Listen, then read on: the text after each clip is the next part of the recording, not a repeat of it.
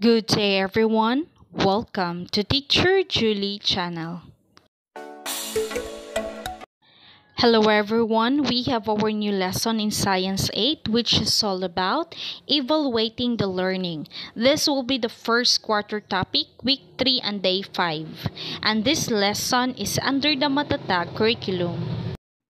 For the first question, what is a pedigree?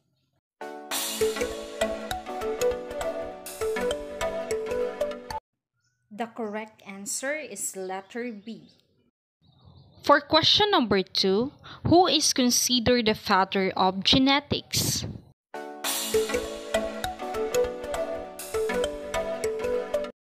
The correct answer is letter B. For question number 3, what is a genotype?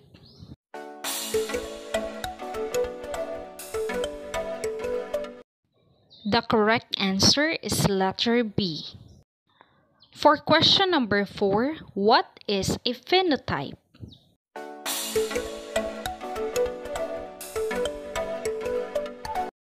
The correct answer is letter B. For question number 5, what is a dominant trait?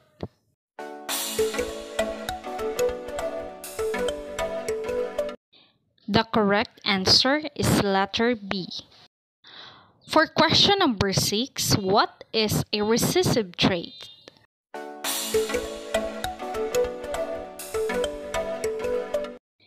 The correct answer is letter D.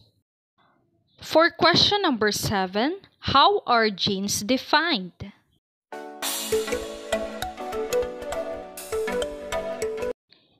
The correct answer is letter B.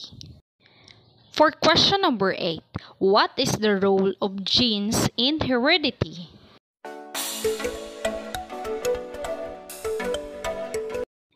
The correct answer is letter B. For question number 9, what does a pedigree analysis show?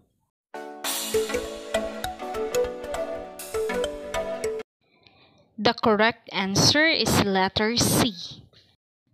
For question number 10, how are genes inherited according to Mendelian genetics?